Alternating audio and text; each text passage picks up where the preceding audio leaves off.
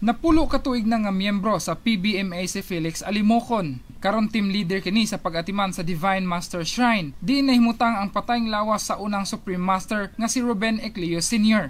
Ah, dili ko ka kunan ang amo lang agad lang pumisa among labaw sa mga kuan ang amo lang serbisyo lang may isip usa ka membro 1965 narehistro sa Security and Exchange Commission nga non-sectarian ug non-profit nga organisasyon ang PBMA. 10 pesos ang entrance sa bagong membro ug 20 pesos ang tinuig nga bayranan. Kalat na ang chapter sa managlayang bahin sa Pilipinas. Sa usa ka artikulo sa pahayagan ni adtong 2002, gingong mukabat na sa 35 million pesos ang nakulikta sa PBMA sukad na mugna ang organisasyon. Giangkon karon sa grupo nga may 300 ka chapters na ang PBMA, apil na sa managlahing nasod. Sumala kang Felix, malinawon og matinahuron sa balaod ang PBA members. Manghinlo lang sa palibot anan o mo assist po ni sa mga tao nga dunay mo diri nga kaubanon mo nga mag ah, pray sila Ginadayo na ang Divine Master Shrine sa San Jose Dinagat. Pipila sa multi-million piso nga garbusong landmark sa PBMA ang Masters Mansion ug Comet House. Rog Cultura, Patrol sa Caraga.